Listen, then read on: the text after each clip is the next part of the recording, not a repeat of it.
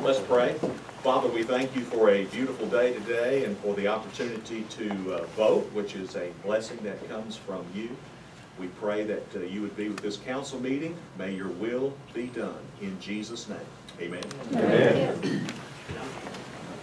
pledge allegiance to the flag of the United States of America and to the republic for which it stands, one nation, under God, indivisible, with liberty and justice for all.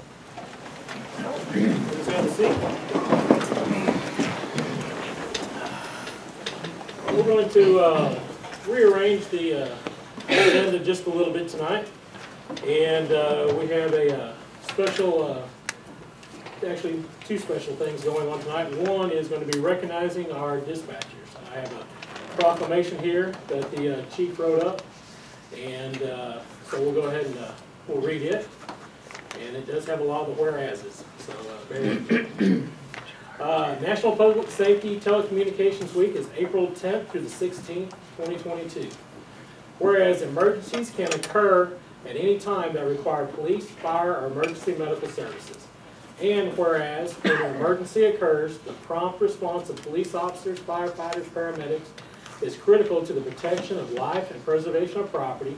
And whereas the safety of our police officers and firefighters is dependent upon the quality and accurate of information obtained from citizens who telephone the Kennett Emergency Communications Center. And whereas public safety telecommunicators are the first and most critical contact our citizens have with emergency services. And whereas public safety telecommunication, telecommunicators are the single vital link for our police officers, our firefighters, by monitoring their activity by radio, providing them information and ensuring their safety. And whereas public safety communicators of the Kennett 911 communications have contributed substantially to the apprehension of criminals, suppression of fires, and treatment of patients. And whereas each dispatcher has exhibited compassion, understanding, and professionalism during their performance of their job in the past year.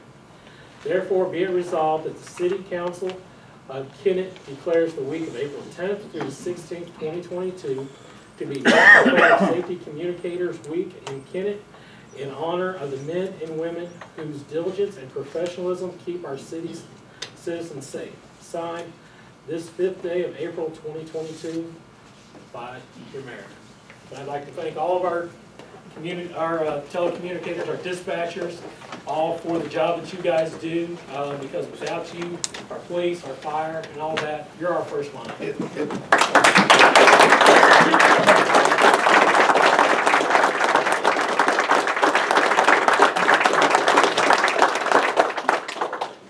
Now with that, um, Chief, I believe you uh, have a little more recognition for. Um, I'm gonna ask all of our dispatchers if you will come up front, please. This is something we've never done in the past, we, when we employ a dispatcher or anything. You guys come up front here. Um, We're gonna have a little swearing in ceremony tonight in honor of National Telecommunicator Week. Um, I think it's important for our community to understand the amount of responsibility that relies on, that comes on all these people here in front of you. Anytime you see a fire truck, police car, ambulance, whatever's going, these are the individuals that get that started, and they take the calls. I can't tell you how much I appreciate their work and their dedication to our city, uh, for both police officers, firemen, and our medical personnel. Their job is very important to us. So, tonight, I'm gonna ask you guys to all raise your right hand. Okay. Repeat after me. I do solemnly swear I solemnly swear. That I will faithfully perform the duties of telecommunicator. That I will faithfully perform the duties of telecommunicator, and that I will act at all times with respect. And I will act at all times with respect. For the law and the good of the community. for the law and the good of the community. I will uphold the rules. I will uphold the rules. And the regulation of my department. and regulations of my department, And I will perform my duties and I will perform my duties to the best of my ability. to the best of my ability. Congratulations. I think also Rachel, she's our communication supervisor. Uh, She has service pins for a number of years. Uh, My right, right here is William Jones. How long have you been here, William? Um, five years, going on six. Five years. Courtney Teff, Five years, five years. Rachel, how long have you been here? Almost seven. Seven. And Mary Beth is our part-time, Mary Beth Thompson, a couple years with us, now part-time. Uh, Evan Bishop, Two years, going on three. Kelsey Mays, Two years. and then Chad Allen. Since November this time.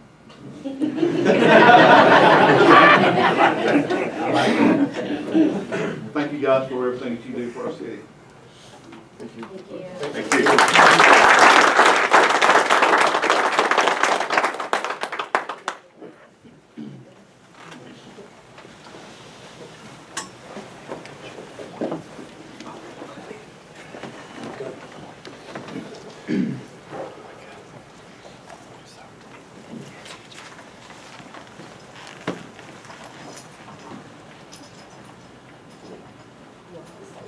Okay.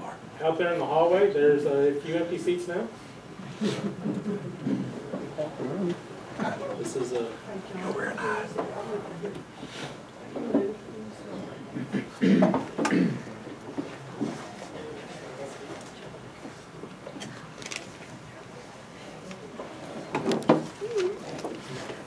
Okay, as a second part of our uh, special presentations tonight, I want to turn the floor over to uh, Mr. Dalton here, and uh, he's got some very good news for the uh, city of Kennett.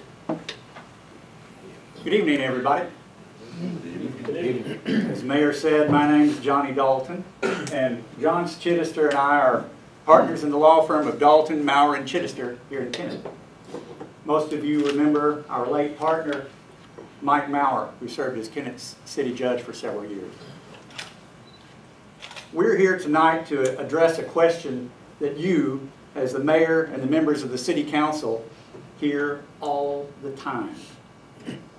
When are we going to get a new industry in Kennett? You've probably heard that question more times than you can count.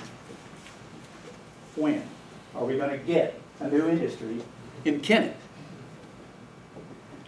Well, I'm proud to be able to tell you that the answer to that question is tonight. Tonight.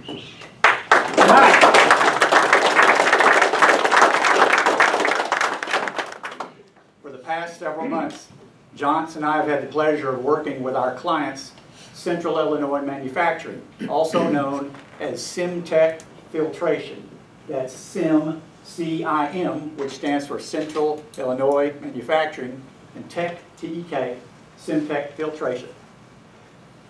We're pleased to announce that yesterday, Cim-Tek closed on the purchase of the former Parker Hannifin factory building here in Kennett, and they will be setting up a manufacturing operation here with work starting immediately. Now, as with almost every type of economic development, this announcement is the result of a lot of hard work by the state of Missouri, by Dunklin County, by the Kennett Chamber of Commerce, and by the city of Kennett. We're going to pass out a press release here in just a minute that includes the details of how all that took place. Make sure you get a copy. Those of you in the gallery, make sure you get a copy too. We brought 60, that ought to be enough. But if it's not, we'll run off some more. Meanwhile, I'd like to introduce to you some representatives of Cim-Tek. James Ayers, if you wouldn't mind standing, please, James, is the president of Cim-Tek. Next to him is Jeff Ayers, who is the general manager of Cim-Tek.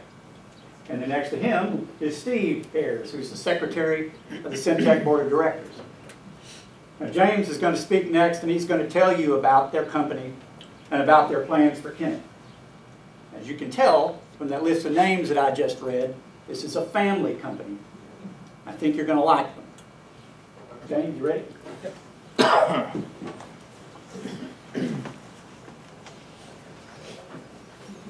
Good evening, my name is James Ayers. I'm president of Central Illinois Manufacturing Company and have been since 1995. Uh, As Johnny mentioned, uh, he's done a great job for us here in town. Uh, We've been looking for additional property for some time. Uh, Hired uh, consultants out of Chicago and been in the hunt uh, for quite some time. And we're fortunate that we were able to identify about a year ago the property here in Kennett that uh, Parker Hannifin uh, formerly owned. So besides my brother Steve, I have a brother Robert who's a doctor in uh, Monmouth, Illinois, practices medicine at Galesburg, Illinois, and my sister Betty, who's from New York City, uh, who works as a school teacher now, but formerly was in the advertising business. And then we have 11 grandchildren who also have an interest in the business, and Jeff being one of the 11. So, uh, our business, basically, we make gas station filters. Uh, There's only two companies in the US that do that. Uh, One is our former supplier of ours, and then us. We were the first in the market. Uh, My dad founded the company 65 years ago. He was a- a mechanical engineer, worked for FS, and uh, came up with a product called the Prevent, which is a a gas cap that prevents evaporation loss on above-ground storage tanks of petroleum product and other uh, petroleum-type products. And so we've been making that product for 65 years. Uh, We have several knockoffs uh, from India and uh, China, but ours is the original, and we repatented that recently uh, to uh, make it new and improved, and we still sell that product after 65 years. So in 1958, MFA Oil Company uh, here in the state of Missouri came to us and wanted us to provide diesel fuel filtration. Nobody else was doing that, and they came to us because of our agriculture background and because of our interest in fuel. We did a lot of the initial work on the Standard Oil final filter that was in the the hose uh, years ago, back in probably the 60s. So we started doing that, and then we moved into gas station dispensers. And so a dispenser requires an underwriter's laboratory certified product for anything that goes inside the dispenser or works on the dispenser. And so each one of our products in this market has to be individually pressure tested to make sure when it leaves our place, you know it's going to work because we've already pressure tested it before we put it in the box as it goes out the door. So I brought some catalogs uh, for you folks who are interested. We sell through distribution, and uh, that distribution, we have, uh, we have about, uh, think it's like 750 different customers. Uh, We have no major uh, percentage of our business to any one company. We've very widely diversified as far as who buys our product, uh, but you've got to necessarily be in the business. We do a lot of private labeling, so we'll make a filter for somebody and put someone else's name on there, such as Parker Hannifin, uh, a customer of ours, a customer of ours uh, before all of this, a cus- still a customer of ours, and we buy product from them. They provide us with gaskets and seals and other things. So uh, it's a small, uh, the number of players in the filtration business, small number uh, in reality to the number of filters that are out there in the marketplace. The- In the filter business, if you're Donaldson or if you're Wix, you make only fifty percent of the filters you make because you're buying them from somebody else who set up to make a certain filter. And that's, our business is in that same niche, in the sense that we make filters, but we make smaller runs. We don't make a day's worth of the same filter. We'll make forty or fifty different changes as we go through production on a daily basis. So we have nine hundred different products and, uh, for our customers, and again, forty percent of our business is private label, which is putting somebody else's name on that. So we're looking forward, uh, we've looked, uh, we've been a lot of places looking for locations. And this is the one that we liked the best. This is the one that we were most excited about. And, um, so we're very excited about being here and, and expanding our current business. We have four buildings in Bement, Illinois, which is near, between Champaign and Decatur, uh, Illinois, in central Illinois, five hours from here. And we have another building in Monticello, Illinois, but we need more space. And this will give us the space that we have. We have the business, we just need the space to make more products. So with that, I'm uh, happy to say that we're really glad. The chamber was very helpful. Other people, Johnny and his law firm, were very helpful, and the Ch- Chamber of Commerce, uh, we've been well-received, and trust me when I say, we have been many different places looking. Part of it, we were doing it ourselves, and then we hired our consultants, and uh, the experience that we have. The the location, the geographic location along the Mississippi River uh, is the best for uh, many product producers, including us. Um, When we looked in Florida, it was adding a million dollars of freight costs by us being in Florida instead of, say, in this general location. So location is really important with ninety percent of our business in, in the US and all of our products made in the US, so. um, Anyway, I'm thankful for the city council's support, the county, and the state of Missouri, and we look forward to uh, a long and, uh, relationship here in this community. So, thank you. Thank you very much.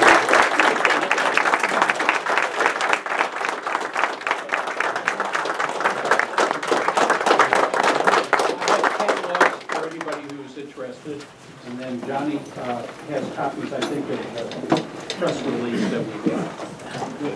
Mr. Mayor, uh, Ms. Combs would like to say a couple of remarks, and then I'll finish up. And Okay, thank we you. promise we won't take long. I'm Melissa Combs from Kennett Chamber. Uh, Kennett Chamber of Commerce had the pleasure of meeting with the Ayers family last summer. In conversation, I just felt a mutual warmth with them, and in learning about their company, I felt that their company culture would fit in with the Kennett community very well. Over the past several months, the Chamber office has been a confidential communication hub for this project, working with county and state partners to execute an incentive package that would be beneficial for all involved partners. I'd like to thank a few people who were helpful over the past few months. Um, I would like to thank Jim Grieving, who initially invited me to meet with this group with him last summer. Also, a big thanks is owed to Bob Young, who has immaculately cared for that property since the previous tenants left, and he's been an asset since it's been vacant. Anytime we needed to show it to someone, he was readily available and knows every nook and cranny, and I was so thankful for his help. Also, a big thanks needs to be given to Dunklin County Commission and Missouri Department of Economic Development for being so accommodating and helping with incentives for the project. I look forward to working with the Cim-Tek family and witnessing them turn out quality products from the Kennett facility. Kennett Chamber hopes that we can help Cim-Tek prosper and continue to attract more businesses like this to our community. Thank you all.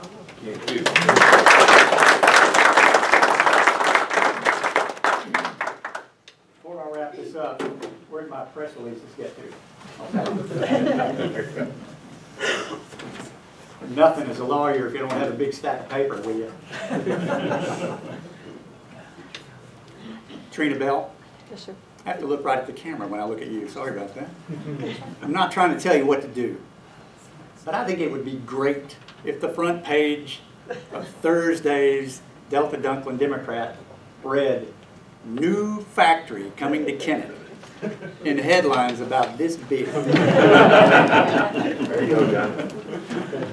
To the mayor and city council, I'm not trying to tell you what to do either, but you heard James Ayers say the first thing that put Kennett on their radar was the availability of a building.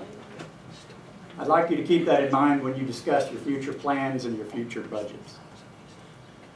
To the citizens of Kennett, if you like how this feels tonight, and you'd like to help bring the next factory to town, join the Chamber of Commerce. The Chamber did a ton of work to help make tonight possible. And with your help and your membership dues, they can do so again. I'll close by saying, if you woke up this morning worrying about the future of Kennett and the future of Dunklin County, I'd like to think that tonight's announcement gives you some hope. If you woke up this morning worrying about getting a job or worrying about getting a better job, I'd like to think that tonight's announcement gives you an opportunity. And to everyone from Cim-Tek, from the people of the state of Missouri, and from Dunklin County, and from the city of Kennett, thank you for giving us a chance. We look forward to a long and successful relationship. Let's all give James Jeff, and Steve a warm welcome and a big round of applause.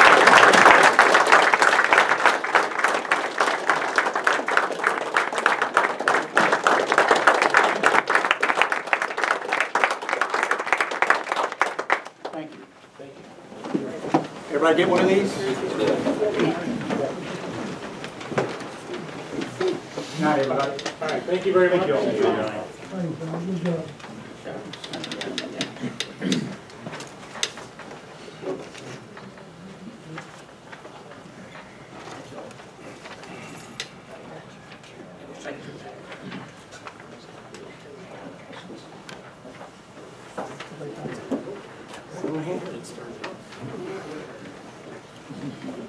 Hey Lance, can we check see if you can turn that off? It's, uh, I'm not normally cold. but- It's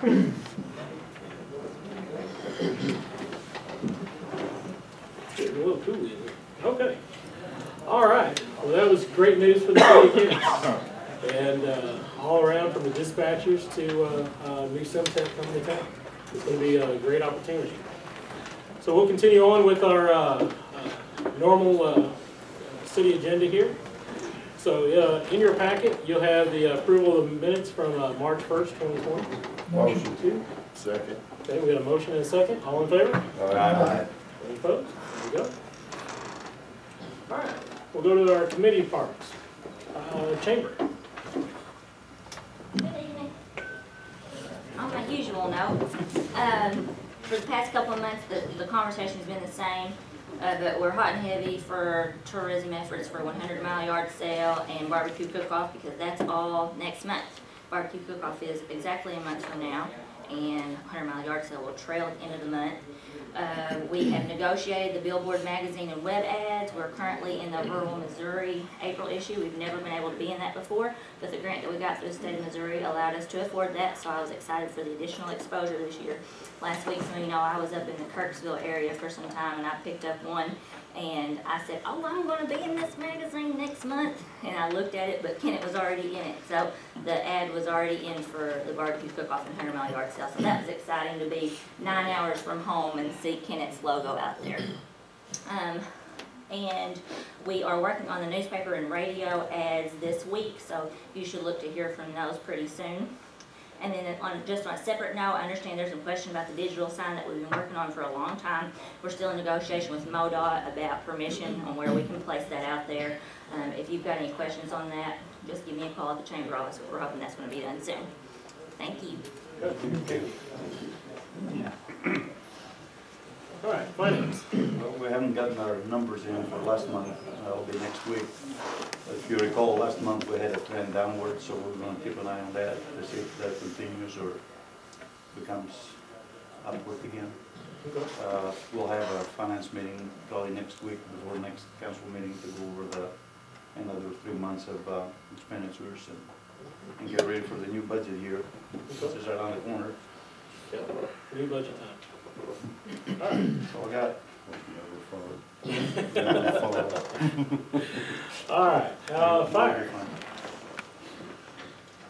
Mayor, council members, if I tell you we rescued a cat out of a tree, it's probably not gonna top the way this meeting started, so I'll just kind of save that for another time. Uh, some information kind of going on with us, uh, I was gonna pass along our, our call volume for the month of March. Uh, We increased again this year, total of twenty-six calls over last year at a total response, response call time of two hundred and fifty-five. Of those, hundred and seventy-six calls, uh, we're medical and rescue in, uh, nature. And with that being said, uh, the, the top responding medical type of calls that we respond to is chest pains and breathing troubles. Uh, I'm, I'm glad to inform you that, uh, starting next week, we begin some in-house training on a new cardiac monitor, uh, that we received through a, a grant through the state of Missouri. And we're very excited with that, uh, because of its Bluetooth capability and telecommunications capability that uh, it will assist the citizens in Kennett that if in the event that they're having a true heart attack, that the information can be passed along a lot quicker and saving a lot more lives. We can pass that along to the, to the hospital. So I'm very thrilled to, to note that. Some other good news that we received uh, this past week, uh, we did receive a fifty thousand dollar grant from USDA. and that grant is going towards, uh, emergency, uh, equipment. The fire committee, we met last week, and there has been some discussions, and again, there will continue to be some discussions about what, uh, what best, uh, item would suit that money as far as helping the city out, so. Great, we were thrilled to hear about that. Um, other things kind of going on, two weeks ago, we had a, a- our first meeting with Zoller Construction in regards to the Fire Station Two project. Uh, Went very well. Uh, Expect some groundbreaking to be taking place uh, the first part of August. So some discussion took place as far as when we need to have things demolished and so forth. And we're kind of going along the schedule that by the first of July, we need to have everything kind of vacated at that time. Which brings up a discussion point, uh, may not get solved tonight, but uh, I know for many years, it's kind of been a headache for, for a lot of us and uh, fire and the city. What do we do with that house trailer? Well, now's the time, folks, we're finally gonna be able to do something about that. So, um, I did not really expect much discussion to take place tonight, but uh, between now and the next council meeting, uh, well, I'm sure we'll have another fire committee meeting, but we need to have some really good discussion about what we wanna do with it. Whether it's sell or move to another location, preferably somewhere outside the city limits of Kent. Uh, The outdoor warning siren that was currently at uh, Fire Station Two, uh, the, uh, Kennett, the uh, Dunklin County Fair Board, uh, they met last night, and they've agreed that we can move that outdoor warning siren over to their property, property that they own, uh, around the B and H, the old B and H building. And we're, we're thrilled that they, they're allowing us that opportunity to move it there. Uh, So that's gonna be taking place here probably within a couple of weeks. Uh, With other things going on, another thing we need to kind of have a serious discussion about is codes.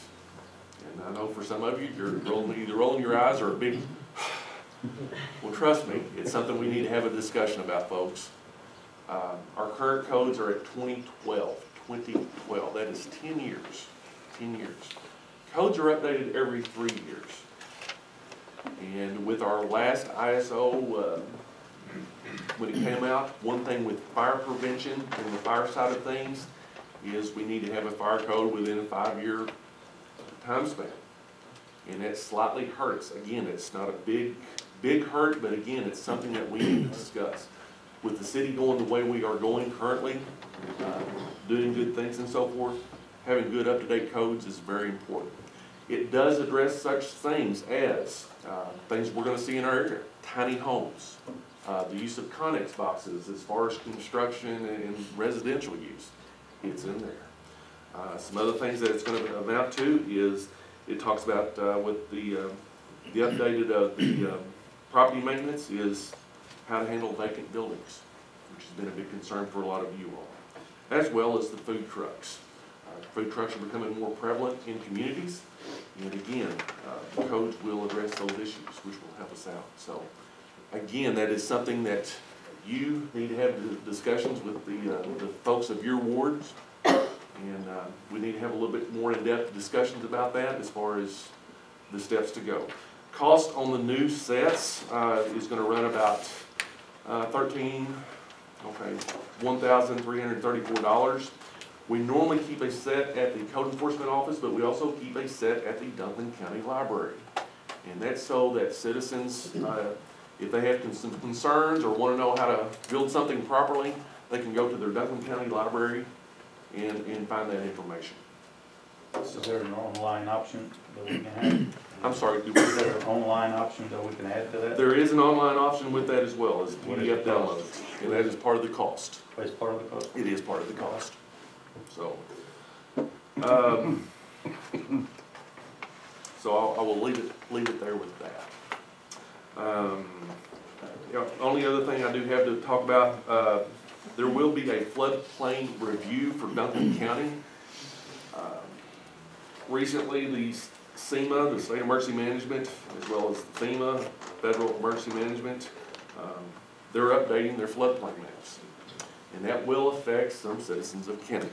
But again, this is not a city of Kennett issue, nor a Dunklin County. This is a FEMA, this is a federal, federal update. So there will be a review going on, uh, Thursday, April twenty-first, beginning at nine AM at the Malden Community Center.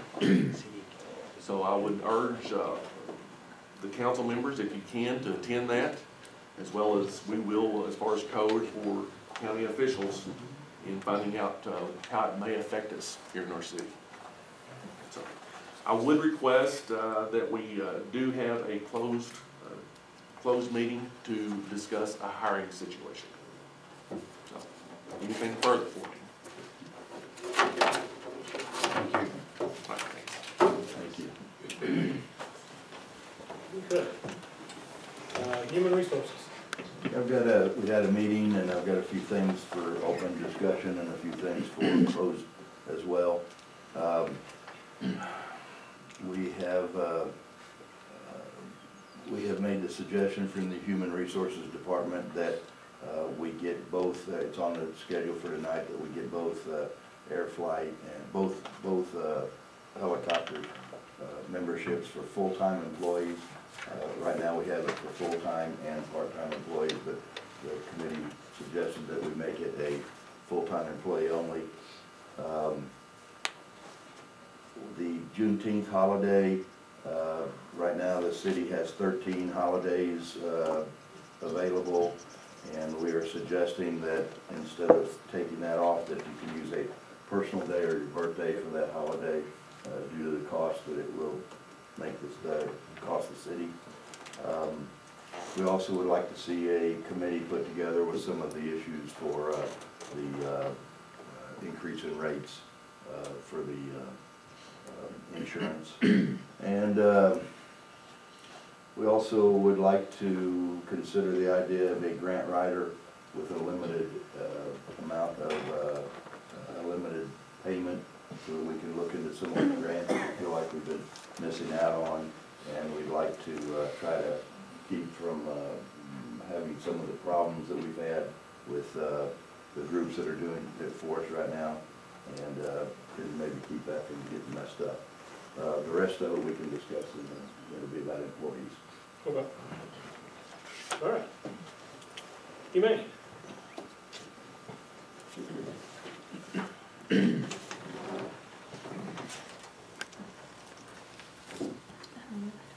First, I want to um, say that Mr. Leon Foley, which worked for the city for numerous years, passed away on March twenty-second, or twenty-sixth.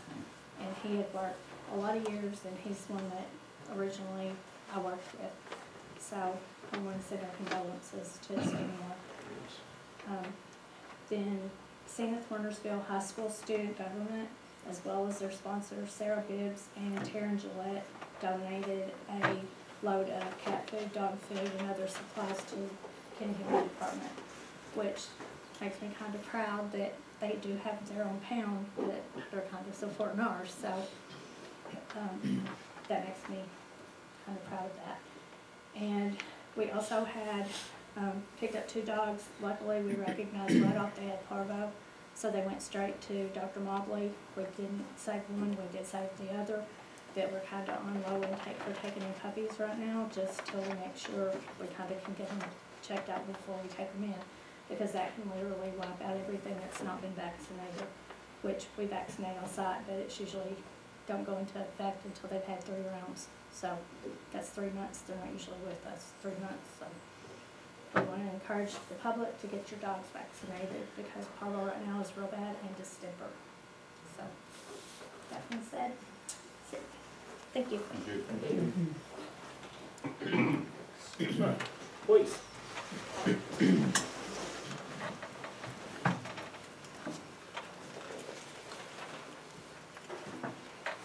Mayor, council, uh, got just a few things for tonight. Um, we're gonna have a community event on May the seventh out at Indian Park. Uh, coffee with cops, dance with dispatcher, time for the community to come out and kind of meet some of our police officers, have a time with our dispatchers too. Um, be at Indian Park from eight o'clock in the morning to eleven o'clock that morning. On hand that day, we're gonna have uh, Corporal Mays and Rocky there to do a demonstration for the public, for everybody to see. We're very proud of the work these two have been doing Also, uh, for our DARE program, Anthony Weaver will be there for a presentation. And also our dispatchers will be there for information on what they do and what goes on in the communications department. Again, that'll be on May the seventh. Um, What time is that? from eight AM to eleven AM.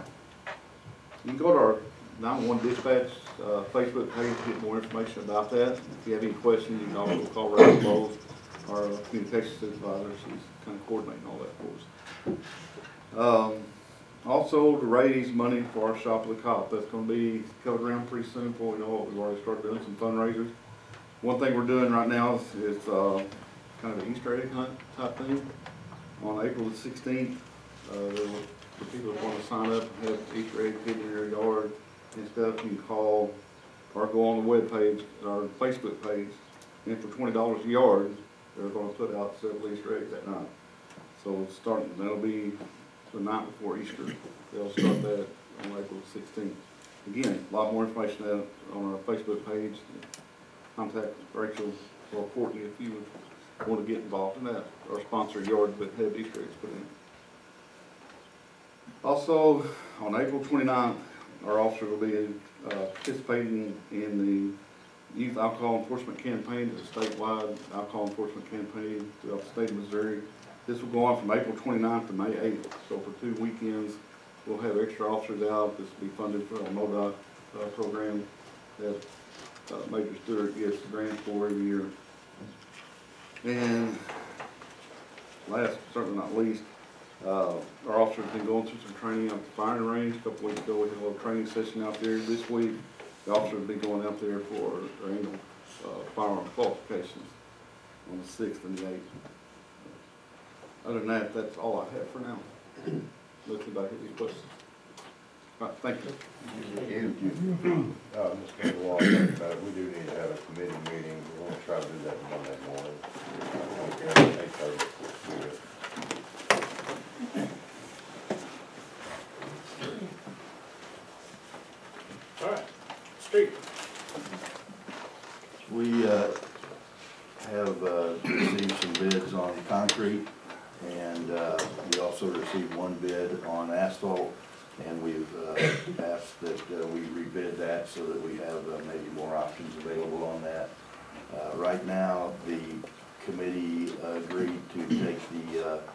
Knuckles brother, uh, Knuckles Contractors uh, bid of uh, four hundred and twenty-three thousand, six hundred and fifty-three dollars. And I'd like to make that in the form of a motion, that we accept that. Second. We have a motion, we have a second. All in favor? Aye. Did you have a second bid on that concrete? Yes, we did. What was the price difference? It was, uh, let's see, a difference of, yeah, two hundred and thirty thousand. It's six hundred and fifty-three thousand dollars. Okay, It was pretty obvious what we needed to do. okay, just, And, uh, Then we're- carries. Thank you. And uh, we would like to, like I said, we're gonna rebid that. The only bid we have right now on asphalt is three hundred and thirty thousand, three hundred and ninety-nine and forty-four cents.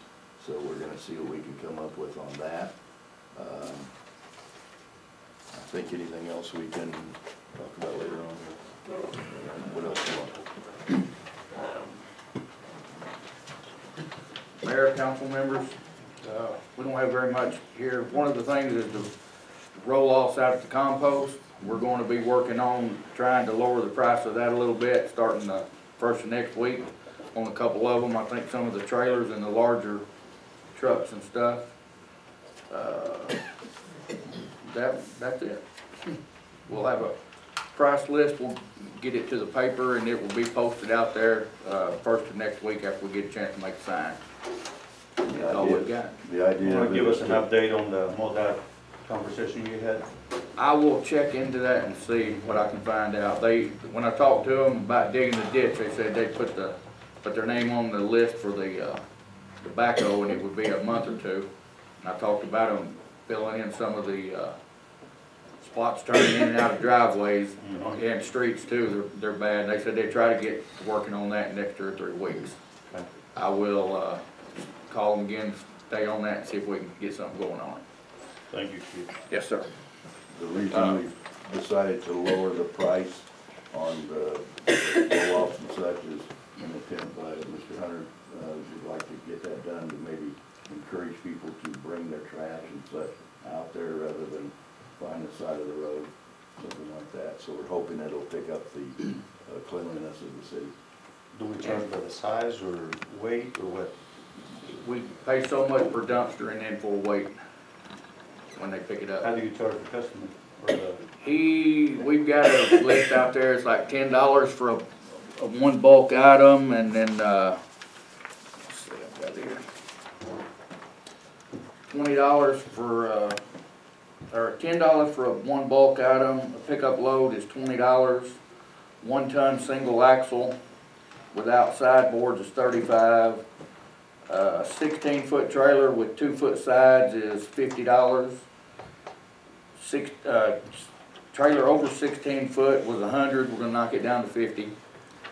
Uh, single axle bob truck, ten foot, was a hundred, we're gonna knock it down to fifty, and a double axle bob truck, twelve foot, we're going to knock it down to seventy-five. And That see, gives us an idea of what. right now, we're, we're pretty close on what we're taking in and going out, it's, it's, they're real close, so we're gonna try this and see if, uh, how it works out, and hopefully it'll, well, I don't think we get a whole lot of double axle bob trucks out there, most of them are 16, 18 foot trailers, so hopefully it'll, it'll work out all right Can we for us. make sure that property maintenance has a new price list so he can insert that into notices so people know they have a way to get rid of that stuff? Yeah, yeah, we can get y'all, Because experience in the past, people say, well, I don't have we a way get to some up rid here it. to City Hall too. Uh, Another, one other thing I didn't have on here was, uh, we were asked about stop signs at the last meeting.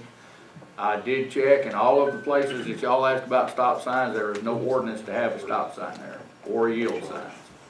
So if y'all want them there, it'll be up to the council to, uh, we didn't get to do that tonight at the street committee meeting, because we had this other stuff with the contractors, but we're gonna have to have another one pretty soon, and we'll discuss that and bring that back to the council as to whether or not y'all wanna put signs up or not.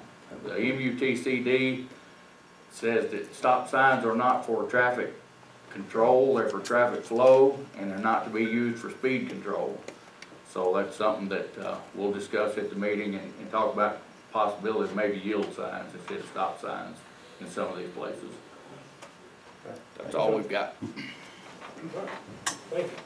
Stormwater. Uh, Good news, we had a group come in that's uh, looking at uh, lining our, uh, some of our uh, systems that need to be lined. And uh, we had a, they run the camera through them and they feel like they can get it taken care of. We don't have a bid on it yet, but they're gonna line it from uh, St. Francis to Vandeventer Street. And this should continue to help our uh, stormwater issues and uh, any issues that we had possibly in the future. So uh, we'll be coming back to the council with a price on that. That's it. All right. Um, industrial, uh, senior citizens. Okay, we had a meeting last night at the uh, Oaks Nutrition Center on Harrison. Uh, All committee members were in attendance. We discussed, uh, this is the first month of the new, of the last quarter. And so some time ago, we agreed to go ahead and allocate uh, at the beginning of the quarter. And what they have left and what they uh, asked for and was approved is the amount of thirty-two thousand, two hundred and fifty dollars. Uh, The committee recommends that we uh, go ahead and uh, pay them the thirty-two thousand, two hundred fifty dollars for operational expense. They are encountering, as every business is, higher prices on both food, utilities, and fuel. Uh, It's, I, I don't have exact figures, but I know just in the city, some of the amount of food and well-being checks that they make to senior citizens is, it's just, I mean, it's a great program to have out there, so, uh, make that a form of a motion that we go ahead and pay the. The thirty-two thousand five hundred, the remaining of the one twenty-five that, Yes, That's the I'll make a motion. Okay, we have a motion and a second. All in favor? Aye. Carries. Uh, One, couple other things. We were looking at their, in- their current two thousand ten Ford Transit van had about ninety-two thousand miles of, of rough road outside and inside the city board. And, uh, we looked at state bid contractors. This is one of the things they had in their budget last year, but, um, with some other costs going up, we looked at state bid, there's currently no vehicles available, and they're not even gonna order any until November, so Gary, who French member, he checked with Baird, Ford Dodge, they're not able to locate one, so, uh, in discussing this, we found that out today, we asked that we consider, uh, looking at, uh, up to thirty-five thousand dollars if we can locate a van to be able to replace the one that they currently use every day. Terry, is that something that we have to authorize? Is that, that's a private entity, that, does that fall into the? I mean, yeah, that, they're, they're, you know, unless the city wanted to buy it. the- It's going to be What beyond. would come out of the. Senior citizen Yeah, senior tax. citizen budget. There's currently about three hundred and thirty-five thousand that is in that fund. I know, that there's stipulations on how it can be spent, that's what I'm asking Terry, if we can get. No, I know, we're, we're just allocated another thirty-two five Okay. for, for. Does that have to be in this budget year, or can that something? She had it in this budget year, but with the prices going up and unavailability right now and, uh, things, we looked at it, the amount of money I'd that say we're that's something collecting. that we probably need to look at for the next fiscal year. And uh, the other things we did was discuss the upcoming fiscal year and ask her to look at uh, things like repairing a parking lot, some of the other stuff that probably needs to be put into the upcoming budget request.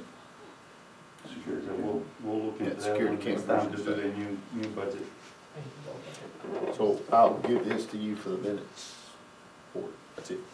Okay, all right, Thank you. Thank you. All right, and then, uh, then, do you have a hospital report? Yes. Um, The, uh, uh, the president and CEO of uh, Platinum Neighbors came into town and met with uh, a large majority of the uh, hospital committee and uh, had a nice discussion with them and a very optimistic discussion with them, and I think we're on track with that. Uh, We, with continuing to work towards getting the hospital. Also met with a company called Dirt today and had several of the members of that. And that is a backup plan for if things fall through with this hospital organization. It is a company that builds hospitals. They do not manage or run them in any manner. But if we had to break down and uh, go with uh, a plan to provide a hospital district or something like that, then there would be a company that would be able to fulfill our needs. And so they came into town, I explained to them that we already had this working with this current company, but we wanted to keep in touch with them. And I'm also going to discuss that option with uh, Platinum Neighbors in the future. What's, uh, the St. Francis, uh, Haven't plan? heard back. We haven't heard anything back? No. Okay. Um, Don't have anything under unfinished business. New business, uh, we need approval of the survival flight and air evac premiums for the upcoming year is brought up in the uh, HR report to do uh, both of those. The total for both of those is nine thousand seven hundred forty-five dollars, Is that with with full-time only? uh, part-time and full-time. Survival flight is forty-seven forty and, um, Air Evac is five thousand and five dollars. So the total is ninety-seven forty-five. So our suggestion was to provide it for full-time members only. So that number That's full-time employees rather than only, so that'll alter that projection. Okay. And that was uh, unanimous within our. So that's gonna be thirty-four eighty and, uh, and thirty-six forty. So roughly about seven thousand. To save us uh, several thousand dollars. Three thousand. And it seems that the uh, part-time people would predominantly be uh, workman's comp uh, if we had issues with them, so that might be a problem for us. All right, is that a form of a motion? But I want to explain a little bit more. The price has gone up with one of those companies also. Was it forty-five and went up to sixty? Yeah, and that's why we had to take, felt like we needed to take that action. I'll make the motion. Good. We got a motion, Need a second?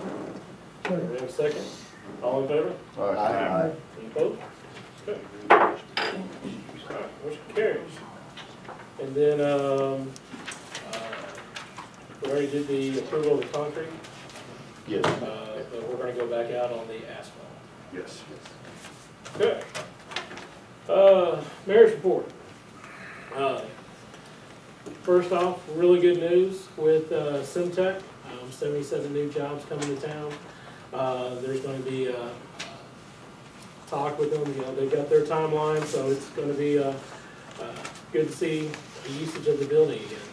Uh, and, uh, great thing for to see it, uh, growing and going from there. Uh, Today was election day. Hopefully you got out and went and voted. Uh, I was number ten this morning for, uh, um, for Ward One. And, uh, so it's still, one of the problems that I see within Kennett is we have a low voter turnout. Um, out of, uh, the, I think one time I checked and we had like, we did have like sixty-seven hundred registered voters in the city limits. But if you look at our usual attendance, we don't even get to twenty percent. Uh, ten percent is a normal, uh, fifteen is a good percentage. Um, so, your reason to get out and vote is just that, even though your candidate may not have anybody running against them, it's still, you know, people died to give you that ability to get out there and vote. So, uh, um, it's, uh, important still to go through the process and, uh, show your support. Uh, That, uh, again, you know, May seventh, hope everyone can come out for the uh, communications and for the police department. Meet them, come meet Rocky and, all that going on.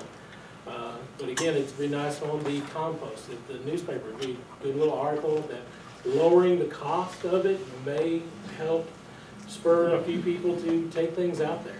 Um, or they may not know that it is the ability that, um, instead of dropping the couch off at the corner or out there on the ditch bank somewhere, uh, you know, hey, it's five, ten dollars, take it out there and, uh, put it in the compost, uh, um, roll off, so, keep things up, and so it'd be great to, uh, you see a little bit of a story ran on that, if, uh, at all possible. So, uh, but with that, we have several in attendance here tonight, so we'll open up for, uh, oh, and good luck to all the candidates, uh, that are running. Uh, haven't heard anything yet, so we'll, uh, uh, results should be coming in shortly. Uh, But, uh, with that, we'll open up for, uh, public comment. Three, two, one. There's one. Okay. There's two. Uh, Approach the podium. First time here. My name is Frances Cruz. I'm the office manager and a title agent at Dunklin County Abstract. And I'm here today about the Spence Avenue parking. It's been, I've been there two and a half years. And prior to that, there's always been parking that I've seen, from the employees to customers. And for some reason, recently, there's been a lot of issues regarding the parking. I've had conversations with Keith. Um, you know, call, I called him once about the barricade that was there before the building was, um, burned down. And I asked him about, you know, when will that be open? And he's like, well, you know, there's a lot of concerns about this building, you know, and traffic, you know, so that remained. Then, you know, the fire happened and they got that cleared up, barricades have been removed, and traffic's been flowing there again. But the parking has been the issue, and that's why I'm here today. Um, We have a lot of customers that come into our office. I know there's a city parking behind our building, on Main Street, around the courthouse. But a lot of times, our customers, whether they're handicapped or, you know, elderly, it's just hard for them to go park behind the building and to come all the way around or, you know, anywhere on the main street. And so it makes it easier for them to park on that one side. I know there was an ordinance from many years ago that stated that there was no parking on the south side.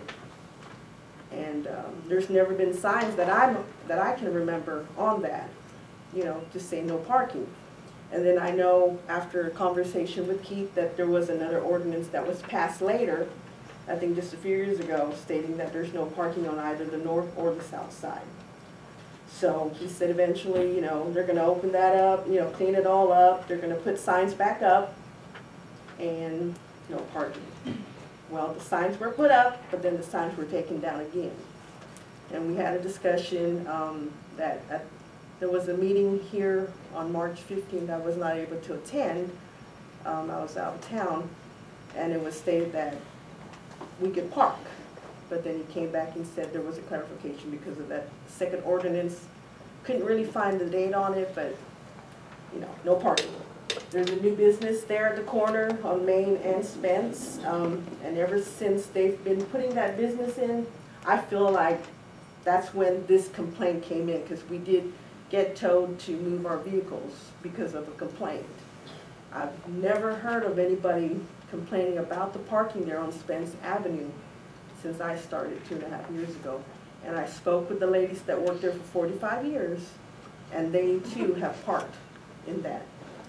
You know, they, they confused that with an alley, but it's really not. The alley's across behind the bistro, I believe. If And I, if I remember right, the ordinance was for the alley that starts from South Main to Kenneth Street, not from Spence to No, there, South there is, Main. a- there is an There is ordinance. another ordinance. There is an ordinance for Spence and St. Francis. Or no, One- one not was St. that- Francis, Jackson. Well, let, let me explain what this is all about, and I appreciate you being up here. Yes, sir. Thank you very much. Yes, sir. Um, what happened is a few years ago, we started looking at how we could get a drive-through available for the pharmacy on the corner there. At that time, it was Keith Mitchell's. Uh, we actually met out there and tried to come up with a way to get them a drive-through. The only way that we could find that we could do that was to change the structure of that alley and restrict the parking, things like that. Um, we, that was the intent of it, the people have not since that time put that drive-through in. Uh, so that does not, I, I'll talk to them and see if they still are interested in it. Meanwhile, we're going ahead and we're checking the lighting in the area and see how the lighting is for safety issues. And we also are gonna put in a concrete piece in the dirt that's between your parking and your door, if I recall. Is that correct? That's between your building and the fence where we talked about the other day. Yes, because that fence is. I checked and that, Okay. from the parking lot around to that is city property. Okay, and that's what, another thing I was gonna bring up, because the safety, you know, I had requested City Light Gas and Water to put up two big square heads. Yes, and that's One what in the we want corner to- where the bank drive-through was, mm-hmm. and on the back of the building, facing that, that little walkway, because time change, it's so dark there, and we get off at four thirty, it's already dark. There's a lot of people that hang out there mm-hmm. all times, morning, noon, night. We found bags of needles. They're dumping their trash in that area. They're drinking back there. They're hanging out. We found bags back there of drug paraphernalia, all kinds of stuff. So I'm concerned for my employees, myself, the cleaning lady that comes at night, you know, so that's why we had those lights put up, you know. Um, the alley did have, or the street rather, did have one light, but it's not bright enough, so that's why we had those in. But again, I know, like I said, there's a new business there in the corner. There's people that are coming twenty-four hours from what I was told. And, you know, it, it's easy access for them to park on that one side, on the north side, you know, because the door is on that side. And again, with our employees, with our customers, you know, um, and like we talked about the signs that were taken down, um, we need proper signs from Main Street to show that that is a one-way westbound, you know, because people are going both directions in there. Then we have the issue with the customers that run into the license office. Some of them don't understand that that's not a double parking, so they block the entrance. We can't, you know, no one can get through. Um, people cross that all the time. It's a dangerous spot because they're flying in from Jackson Street, you know, and they're just going out on Main. Not even thinking, knowing, or knowing that that's a one-way from the other end, you know, so. Again, you know, I, there's a lot of things I've been thinking about all day today about this. Um, we have signatures from a lot of concerned and people that are, you know, in support of parking on the north side of Spence Avenue. You know, and, um, I brought that today. Good. We got a lot, like I said, we got a lot of people that are in support of this. Um, you know, uh, we've tried to keep up, I know Keith and I talked maybe a year ago or so about the, the mowing there, and I know from Terry Berry's time when she worked there, Mr. Don Berry used to help maintain the area, including the street. Mr. Crafton has done so as well. Um, the previous manager had her husband come up there, you know, and, um, you know, um, again, the parking in the back, it can get congested, um, because we've got a lot going on right in that area, from the license office to the salon that's there, the barber shop, the beauty shop, our office, you know, and so, again, we, we hope that you guys can, you know, We, there Take it hasn't into been a consideration. decision made on it because Understood. of all the uh, issues that you're talking about. Yes, sir. We've considered everything from uh, parking only, uh, restricting parking during daytime hours and Mm-hmm. not after five o'clock. We've got a lot of different ideas and Yes. we're gonna continue to work on it and uh, please continue to talk to Keith about it and Yes. us about it and we'll try to come up with a solution that is good for everyone. okay, Okay, and we don't, we don't wanna cause anybody a problem, we're just trying to do what needs to be done to keep tenants safe and yes, sir, functional as well. okay, I appreciate it. So, And I thank you thank for you coming guys up. so much. The, uh, one-way signs will be put up regardless of what happens. Yes, Yeah, we've that's got- great. We just got those in, and those will be put up the next few Good. days. so We'll we have get it a on chance. both ends so that way. We're gonna have them on Jackson where you turn in, it will be where they come out from the, uh, new thing there between where the buildings were. Yes. There will be one when you're coming straight by the fence, and there will be another one if they try to turn.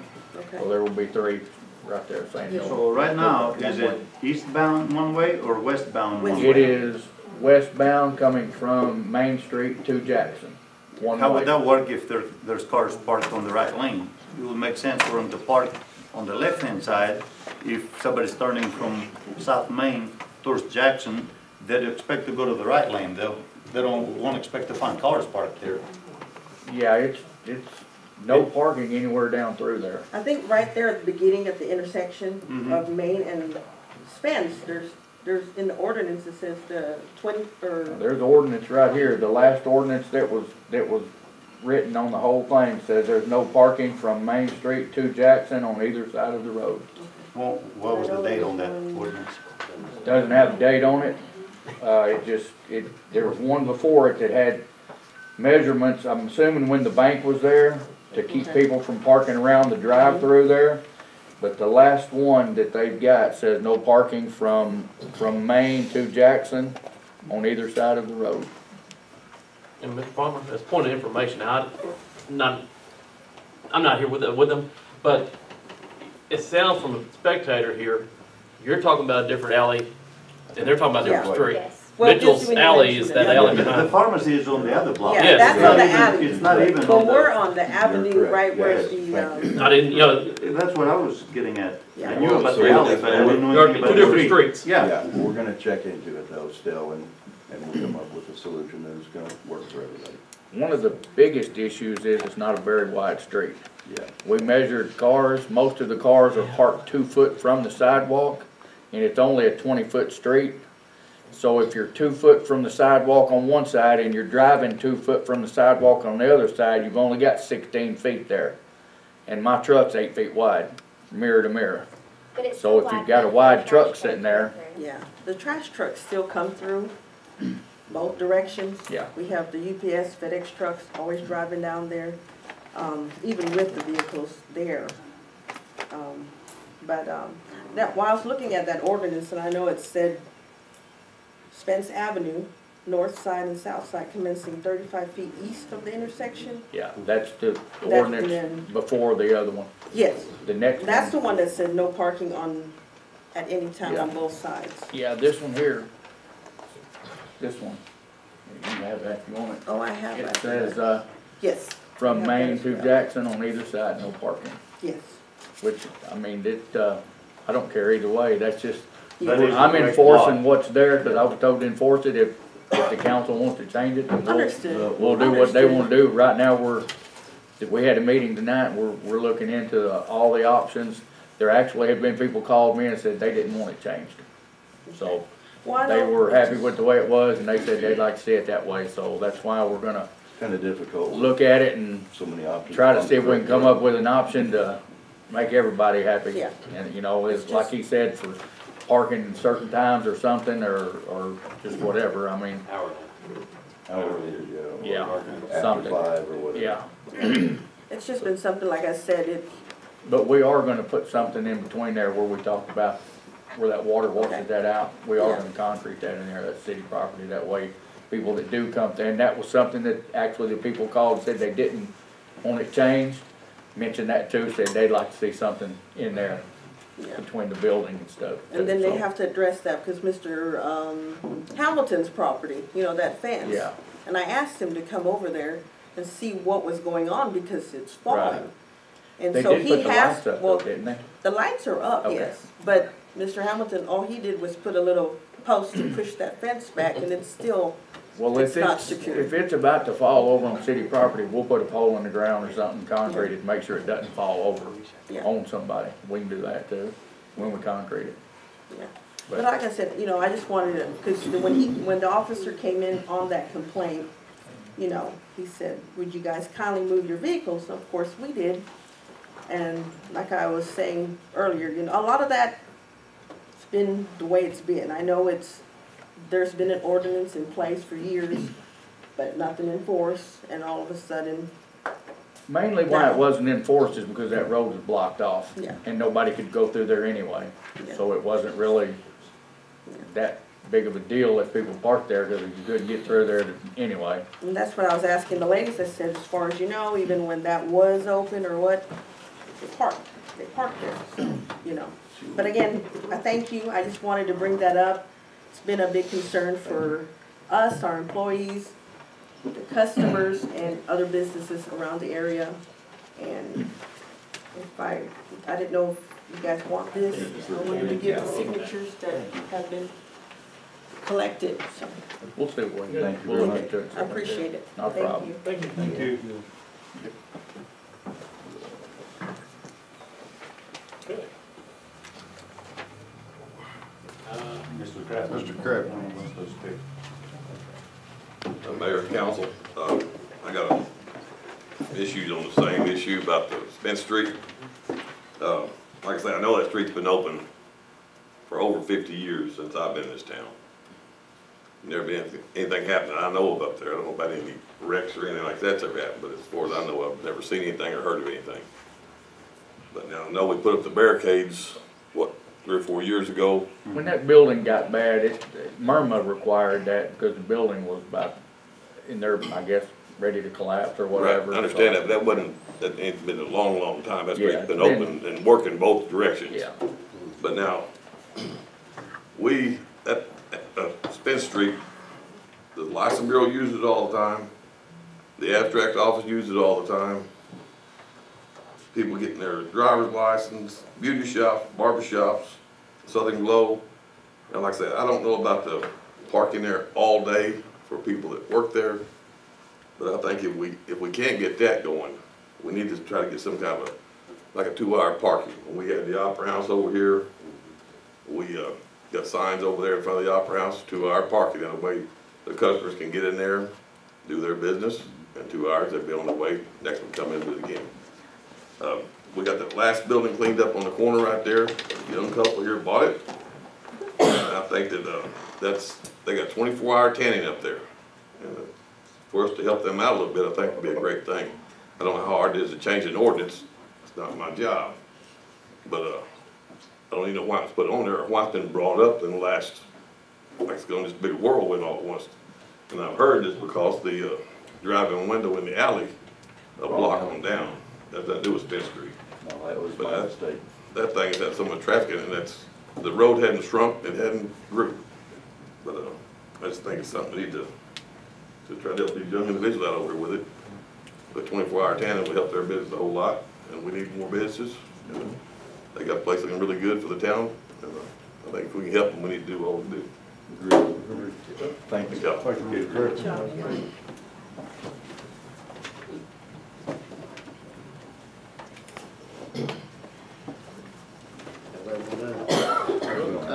me and my wife, we're the ones that own Southern Glow and Boutique.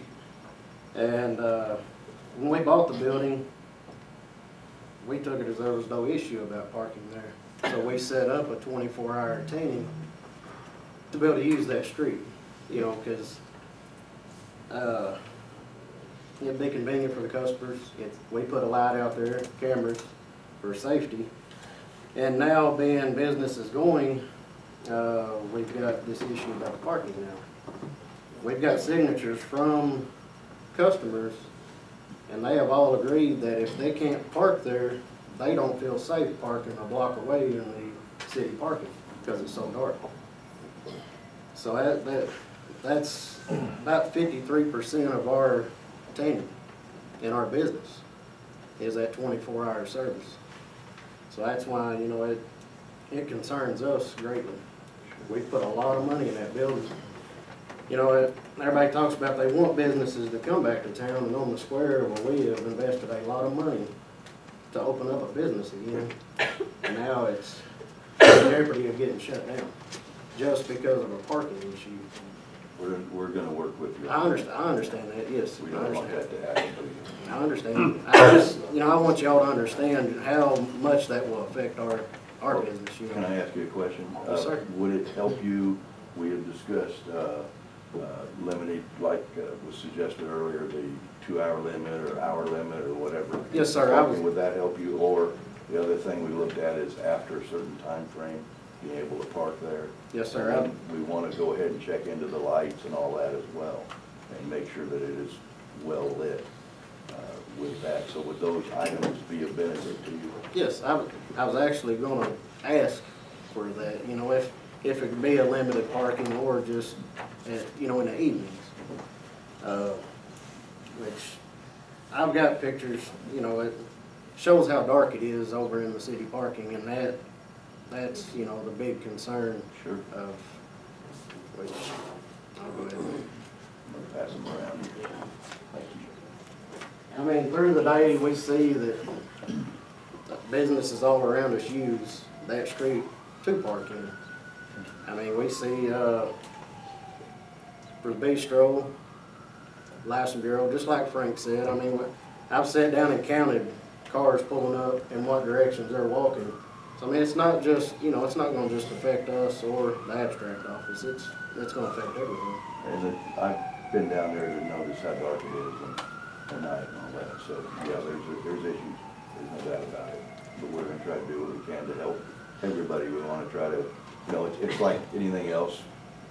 One group wants certain things, another group wants other things, we, but we're gonna do what we think is, uh, the best for the community. We try to make sure we keep in mind your business and, or, so we're gonna see what we can come up with.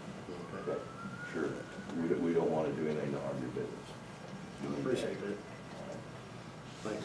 Thank you. Thank you. Can I add one more thing? Yes. I'm sorry. I was just gonna say, um, I know when Keith and I talked a few weeks ago about the street itself, those are considered sidewalks. Hmm. In front of our building and on the other side where Mr. Crafton's building is. Where And the air conditioners are at. they need to be addressed. We have had customers in wheelchairs try to act, you know, get up there and it's not even possible. Yeah, because the drop down right where they're gonna fix that area is, is bad. And having to go all the way around to the front where the beauty shop is, it's, it's just not. So I just wanted to bring that up as well, if they're gonna look into this and, See what all we can do to. yes, I wanted to make sure that was addressed as well. Thank you. Okay? Forgot. Sorry about that.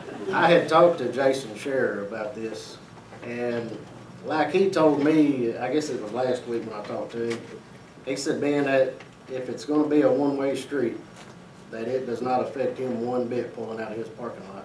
He said beforehand, when he thought he could turn and go east, yes, but he said, Ben, I can't even go that direction. He said, doesn't affect me one bit.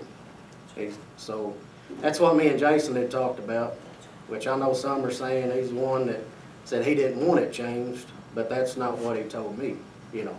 I mean, that's, that was just our conversation. Great. Appreciate that. Thank you. I'll tell you what, I just talk.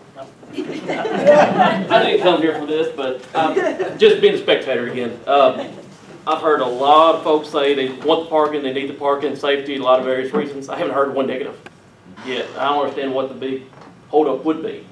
I mean, if you can act on this to where there's a city ordinance that hasn't been enforced for many years, before this barricades and after the barricades, I mean, it, it shouldn't be complicated. Well, I don't think it will be. So, you know, I just, I just, they're getting, I know from what they're hearing, we're not getting, they're not, they're hearing mixed emotions, at least that's what I've heard over here, but again, it's not, it's, it's not me per, it's not my personal business, but it's Kennett, and we need business. And I, it's So- strictly for me, I've gotten in trouble for making decisions on my own, and I'm gonna make sure I take it to the. Well, please, I, again, I'm not here for this, but I just, hearing it, it's just, couldn't help myself. I'm just- But I'll tell you what.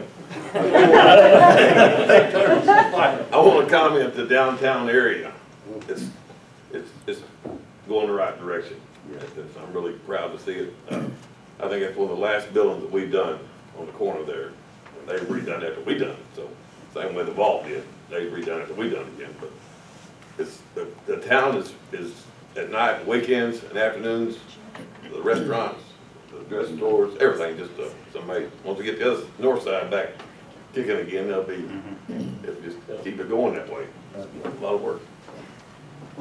Takes a lot of help working together. Yeah, that, that nerve thing keeps kicking on. Okay. Anyone else?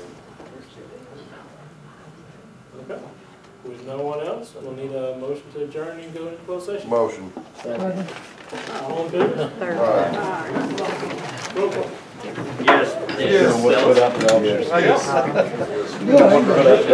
Yes.